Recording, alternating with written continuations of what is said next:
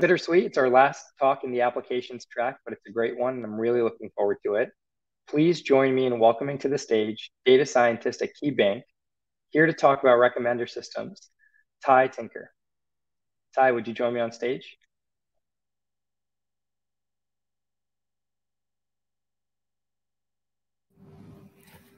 All right, how do we look?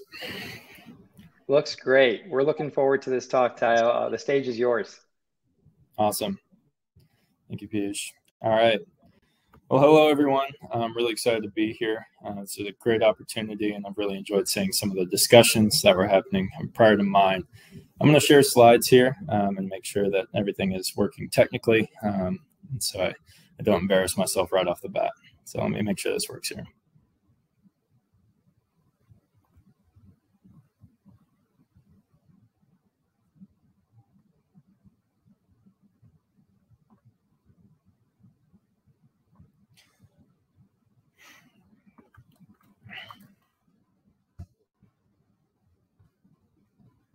All right. So, um, yeah, appreciate the confirmation in the chat. We uh, can see the slides here. So, um, my name is Ty Tinker. I serve as uh, in the analytics organization of, of KeyBank, uh, which is an internal organization specifically supporting a data science team within commercial middle markets. Um, when preparing for this talk, I stumbled across a TWIML podcast, which is hosted by Sam Charrington, um, which explored the idea from Google Research that we've likely all heard some form of before um, that paradoxically, data is the most undervalued and deglamorized aspect of AI. Um, so before I dive into my talk, I want to thank the organizers at Snorkel for bringing together the most undervalued AI conference of 2022. Data in production is often leveraged as an input to a function rather than as a function itself. Um, so I really appreciate the opportunity to put the spotlight on the data and labels that have fed the cutting edge work we've seen uh, the past two days. Uh, some, some really great work there. So today I'll be sharing um, a little bit about a project I had the privilege of working on in the past year. Um, I'll be discussing uh, data uh, uh, processes and modeling within the business. Um, KeyBank, where I work, is, is in the early stages of a data journey. Um, it's rapidly growing. Uh, it recently partnered with GCP. Um, it also acquired AQN Strategies to head up the analytics organization I mentioned that I was a part of, and is making massive strides to try and uh, modernize the business and, and support the commercial functions as well. I work in the commercial middle markets, as I discussed, which are our business clients um, that bring in about 10 million to a billion dollars in revenue. Um, and I was tapped to help a cross-functional agile super squad, uh, which is just, just a bunch of agile uh, jargon, uh, meaning it was a group of people, data engineers, data scientists. We had bankers, executive leadership team members, uh, analysts, data supply chain members, a huge group of people who were all brought together um, to try and improve banker productivity. The recommender system um, lives within a broader initiative, which is called the Banker Productivity Initiative, um, which really took the approach uh, of providing centralized, accurate, and forward looking insights uh, on top of data that had really not ever been brought together before. Um, it's to support our bankers who really are our quarterbacks for relationships with clients. So for the recommender system, move forward here. So for the recommender system, um, I will share, of course, overall system design, um, our target and feature generation process, uh, the selection steps, uh, our process of validation and testing, and then, of course, our uh, direct feedback and how we're incorporating that into our business rules. Um, we tend to uh, err on the side of, of customization uh, for the business. As I mentioned, we're early in the stages of a data journey. And so um, much of this process has to be uh, built with the end user in mind. We're not trying to build a system um, to the scale of, of some of the other recommender systems um, that have been uh, discussed in previous talks or, or uh, researched recently. This is on a smaller scale, but its impacts are, are widespread. So um, when thinking about recommender systems, and I, I think I, all right, perfect, on the right slide. When thinking about recommender systems, we have uh, the generic system design. We have uh, initially um, a query of some sort, um, which which uh, initiates an interaction between um, uh, item store and then a feature store. So uh, given some user context, this query um, and a set of items, uh, the recommender system intends, of course, to provide recommendations which are expected to be good or provide something that's relevant um, to the user, and who in this case is the banker, not direct to client. So we select from two standard types of products. Uh, we have our credit products and of course our, our, payment products. We also offer deposits. I don't want to leave those out, uh, but those are not recommended um, to the bank. And in most cases, they actually don't require any level of selling. You may notice uh, with a keen eye that uh, we're kind of missing one of the components already um, that I mentioned, which is the query. Um, and this is a critical distinction from rec systems at massive scale. Um, we, we don't have an automated query which triggers our event. Given that we don't have um, millions of, for example, posts to select from to try and uh, recommend at extremely low latency to millions of users, um, we have a little bit more flexibility with our models and can run them on a much longer schedule. Um, our users, who end up being both clients uh, really at the end, end state and then uh, our, our bankers who are our direct clients um, can suffer from choice overload given the numerous banking products we have available. And so it's important to provide a recommend or a ranked list. Um, and our rec system was built to support the rapid human navigation um, of these choices. So if we don't have a trigger, uh, how do we know when to refresh our recommendations? Well, um, we coordinate. We work with people. Um, our two missions with this project uh, one more explicit and one implicit. Um, our initial mission was obviously to provide uh, recommendations which make sense for the business and, and help banker productivity. But the um, implicit mission is to uh, build trust in data products within within our, our newly formed analytics segment. So in this case, when we don't have a trigger, we actually have to coordinate with the data supply chain team who's responsible for the input and output in our data systems. They also do a ton of work with authentication, um, data management, cleaning, um, everything that goes into that. And so when they refresh their systems on a certain schedule, uh, upon that, we refresh ours. We pull our data, uh, and I'm going to go into a little bit more detail of the system overview here. We pull our data into a raw data store, um, which is only available within our environment, so our GCP environment. We then create a client financials document, which is shared with the business. I'll get into a little bit about how much overlap there is between the system and the business, um, but that's directly shared with the business. As I mentioned, it's one of the first time we're bringing those client financials together. So as a part of initi- uh, as a part of that productivity initiative, we share those financials with the business. From there, we're able to generate our holdings data set, which is a binary matrix, uh, which I'll show in just a minute, which represents our, our zeros and ones of whether or not a client holds a product in a particular year. Um, this, in addition to a set of client features, which includes financials, but also includes internal data, external data. Um, I'll share more of those features later, but uh, all of this and then trended across 12 months, all of that data is fed into a product model, which uh, serves the objective function, which I mentioned, uh, which is generating a rank ordered list of recommendations. Lastly, um, within our system, we have a custom set of business rules um, that we developed independent of the business. So um, these are things like, like data checks, uh, output checks, performance uh, uh, levels, and, and then we actually select the products which we provide to the business. So if they're underperforming, we extract them, remove them, and do some external testing. All of these outputs are moved into um, the ranked items list. And then from that ranked items list, uh, we provide our model insights. So in an in initial load, so for our, our, first quarter of insights that we provided, um, we didn't have to filter out any previously recommended insights. Of course, this is an initial batch, but as we provide those recommendations to the business, we of course uh, filter some out based on uh, the actions of the bankers that are engaging with them. So I'm going to move on to the next slide here.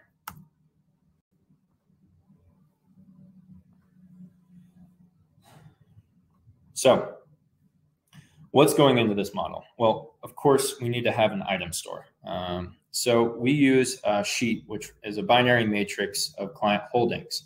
We generate this based on the revenue that we see from certain products across historical data. So we break out our, our historical data into uh, 12 months, January 1st to December 31st of revenue information. If we see a relevant amount of revenue generated for a certain product against a certain client, then we convert um, each point to a zero or a one. So if we see revenue, we convert it to a one. This gives us um, a, a, set of series which are comprised of uh, into a data frame um, that give us our item store. Um, so we filter out any new products. Uh, if we incorporate something new, uh, like for example, we now have a healthcare payment product. Um, it's too new to rate, too new uh, to incorporate into our modeling process. So it's currently filtered out. We don't model on these products. Clients with low to no holdings are also figure, filtered out. Um, clients with no holdings uh, are not providing much information gain to the model. Clients with only one holding um, have an impact on the model that's, that's um, difficult to quantify. So lastly, we split out our train, validation, and our test sets uh, based on year. So our train set, uh, which I'll get into a little bit more later, but our train set um, is a rolling window, um, which uh, comprises of the, the most, um, the oldest data that we have until uh, it meets a particular year. And then we have one year of validation, one year of test, and then uh, we have an out of time sample that we test on as well for, for further testing. Of course, um, we need a little bit of context for each one of these clients. So we generate a set of features. I'd like to go into this um, feature generation process because it's a long one. As I mentioned early in the data journey, our mission here is to uh, make sure that we build trust in our analytics products. And so importantly, when we generate these features, we need to make sure that they are correct. Um, there's a labeling process in place, which um, was not as effective as the one that we took. Um, essentially, our, our, process was to um, pull in from numerous data sources information on, I'll use sale size as example, which is just the size of the client that we're dealing with. Um, we'll pull in data on sales size from a, like a profitability resource that we may have available. We check this data for its completedness, and if there's any issues with that, then we actually engage with the business and send out surveys to uh, each one of our bankers and require them to uh, uh, improve or change or update um, this information. We segment out our clients to provide context to those uh, that specific metric, so sales size, and then try to understand whether or not it's an outlier or if it was potentially input incorrectly. And so we're constantly engaging with the business back and forth, making sure that in their source systems, they're updating information, making sure the data is up to date, because we're working with all really internal information here. This isn't, these aren't public clients that we're dealing with. We can't just pull sales size immediately. We have to actually get that from the business. So we try to increase and improve our data quality. Um, and then we bring in all of our data sources here. So that includes things like deposits, our risk rating, short-term debt, and we carry out a waterfall approach to try and improve each one of these, especially for key metrics like sales size. Of course, uh, we have uh, a logical imputation uh, that I mentioned. Um, so we impute null values. Uh, we try and improve those um, from the business. If we detect outliers, we really try and improve our data-centric mindset um, and uh, all with this model in mind. Next, we move over to raw categorical features. Um, these are things like industry, geographical region, um, the client segment that we generated. Um, and we take these and we one hot encode them um, as, as a part of our feature preparation. Lastly, we actually um, extract our feature. Uh, so our feature here, or our target, excuse me, uh, our target here is the list of zeros and ones for a particular product. And then we take the rest of the holdings information and we include that as well in preparation for our modeling step. So a lot of different features incorporated. Move on to the next step here. So all of this goes into our product model. Our product model is a tree-based approach. Um, we cross-validated several different models, making sure to test sampling techniques um, because our, our, distributions were not perfect uh, or were not necessarily normal. Um, and we discovered uh, through through rigorous testing that um, our, our, light GBM uh, approach was highly effective, um, and we tested various sampling approaches as well. Um, so each product model specifically gets its own uh, product approach So we need to validate, uh, and and uh, that validation approach uh, focuses in on lift. When we consider a recommendation system, uh, we need to understand um, what it's providing to the business, and and our focus is on precision, really. Um, recommendations that make sense to the business. Of course, uh, that satisfies our, our, first mission that we discussed earlier, which is um, providing useful tools uh, that will help banker productivity. Um, but precision isn't the only uh, metric that is necessary and useful. Um, additionally, we want to make sure that we're not uh, overloading bankers with false positives. Um, so these are recommendations uh, which are not going to lead to revenue.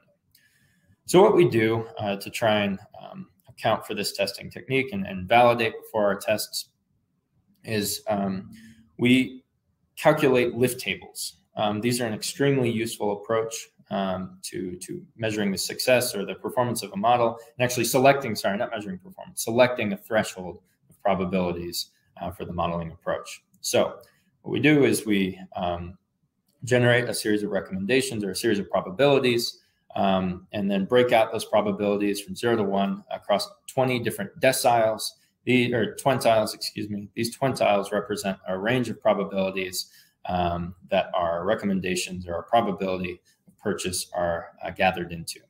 So for each one of these bins, um, we, we generate a lift metric. Um, and so across each one of the twintiles, uh, as we move across, you know, one through one through 20, which represents a, a probability uh, range, um, we calculate the lift within that twintile. So from, you know, 100% probability to 95% probability, we have a certain lift. We expect that lift to be high on that end.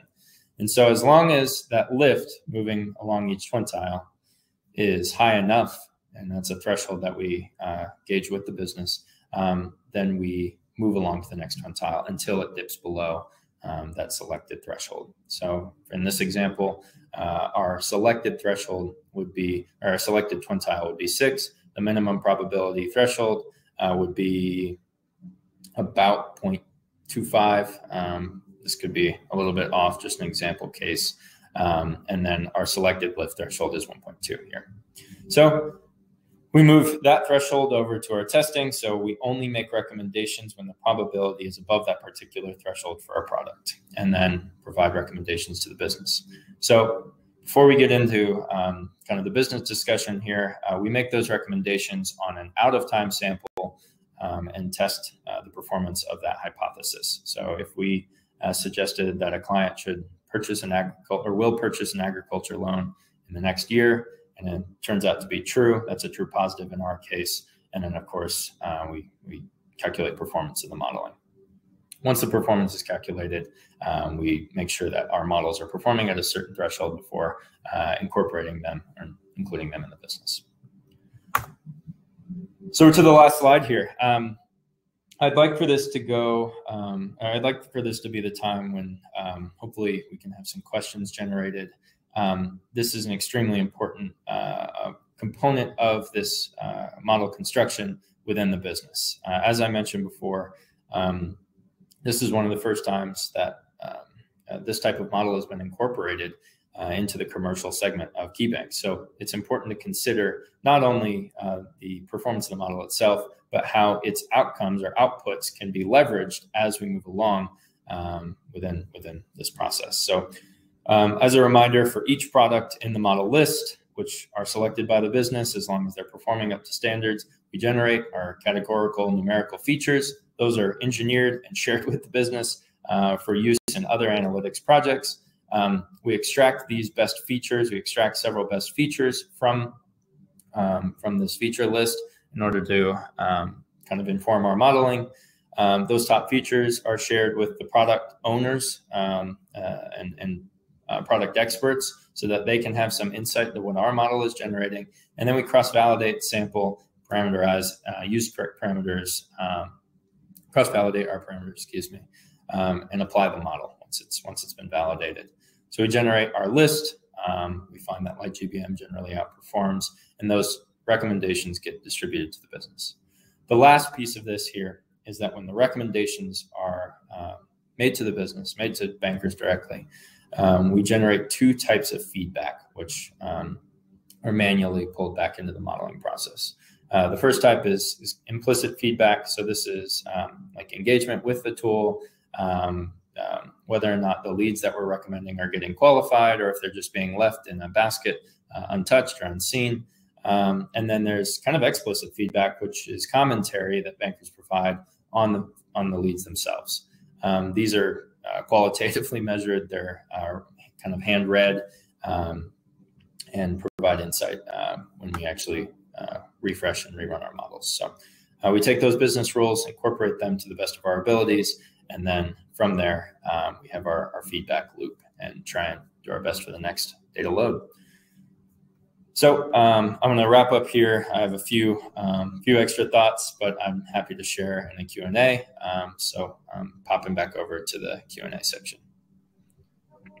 Ty, thanks so much for this presentation. That was that was great, and we do have quite a few questions coming in. So um, the first one is, what are your thoughts on showing recommendations for prospects? So people who are not yet clients, and you know how can we increase recommendation relevancy for existing clients? Yeah, that's a really interesting question. Um, as with recommender systems, the the new user problem uh, can can be a challenge. Um, so for uh, recommendations within the business, especially at Key, we would like to see some level of engagement with their actual data. So we we would need to see um, availability of sales size or client information, um, assigned risk rating um, before we could actually incorporate them into a recommend recommendation engine. So new clients tend to be filtered out. Um, so that's kind of my cop out answer to that question, um, because there is, of course, a lot of opportunity with prospects. Um, so as long as we're finding a way to uh, incorporate that data or at least place them within some sort of client segment, then we could use um, matching algorithms in order to um, potentially make recommendations to similar client, clients who look like them, um, and then pair those recommendations to that client, as long as we know that they don't already have the product with another bank. Uh, we don't have full primacy with with all of our clients, right? So we don't own every single client relationship for every single banking product, um, which is its own initiative. Um, but but um, so in that case, it's important to consider both. Do they have the product already? Um, do we know that they have it? And if they don't, um, is it a client match? So that's how I'd answer that. That's great. Uh, and next I question is there too. Sorry about that. Sorry. Yeah, no, no, there go for it. It's how can we increase recommendation relevancy for existing clients? Is that what you're referring to? The second part of that yeah. question.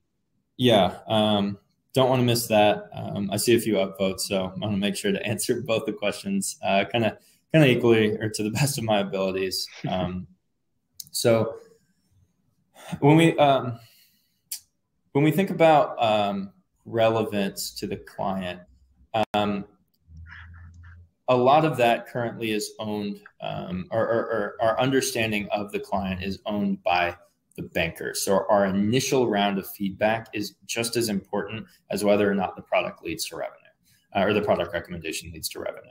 So when we notice uh, heavy disqualifications within a particular um, uh, product, we obviously need to uh, assess what's going on with that particular product, but also understand why our recommendations may not be making sense to that client. So we do gather data on disqualifications as much as we do with our qualifications. Um, so that's the initial round of feedback. Um, we aren't to the point where we're actually um, um, um leveraging this product in a way that sees revenue um, because these, you know, this was this had just gone live essentially, still in testing. But once we start to see revenue feedback as well and engagement from clients, then we can continue to increase that relevance. So, yeah, that's great. Yeah, thanks for thanks for getting to both pieces of that. Um, the next question we have is how do you get all this client data? What happens if you're missing a bunch of input? Yeah, um, great question. Um, it's kind of the the theme of the uh, the talks here um, in many ways. So, of course, we have um, when we enter into a, a, banking relationship with a client, typically that's uh, initiated with uh, some sort of a loan product. And so we have to have some level of credit understanding uh, for those clients. So we're lucky enough to be blessed with um, quite a bit of information um, kind of on creditworthiness, financial information on the client. Um, so that's a great place to start. It helps us really um, uh, build these uh, client segments um, kind of cluster our clients together. Um, but in the case where we're missing quite a bit of this input, for the system we have in, in place currently, um, those clients are not going to be modeled on. Um, we just don't have the current data uh, or the, the enough data uh, for it to pass through some of our risk factors. But in the event, of course, that we're missing a bunch of this data, this kind of comes back to the principle which I discussed earlier, which is building trust in our um, our, our uh, analytics products um, and understanding that quality data in leads to quality data out and making sure that our end user understands this as well. Because in this case, our end user um, is not one we happen to be gathering natural data on. Um, our end user are bankers who are responsible for the input data that were uh, much of the input data that we're being served from. Um, so as long as we're providing great recommendations, then they see the value in actually um, updating information on sale size, as I mentioned earlier, or other important metrics. So feedback loops. Oh, that's a great that's a great point and very interesting that the end users are kind of also incented to to make sure that the quality of the input is going, you know, is, is high. I think there actually was a question related to exactly this. How are you auditing data quality for these systems? So are you noticing some discrepancies across some of those, you know, those bankers or I don't know if you have any commentary there. Yeah, I can't provide a ton. Um, unfortunately, I wish I could have more. Um, but um, we can go to the next question.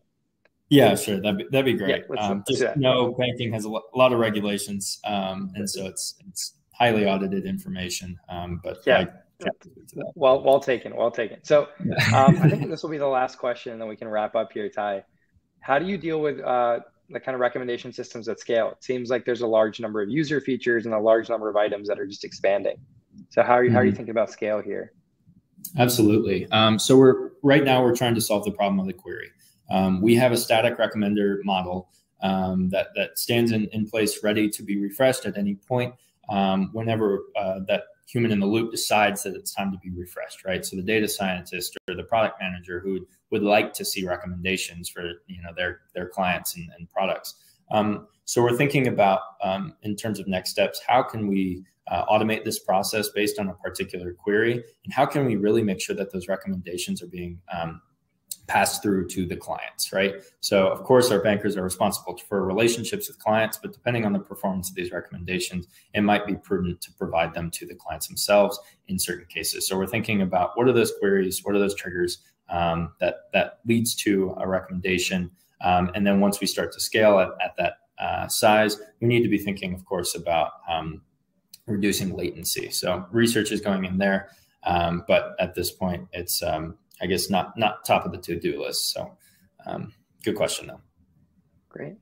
Well, you know, best of luck building this out, and thanks so much for, you know, sh- sharing this with us. You mentioned at the top of your talk about how you believe in data centric AI and its importance, and it's going to increase in value. And you know, you're you're thank you for being an active, you know, participant in the community by by giving this talk. We really appreciate it.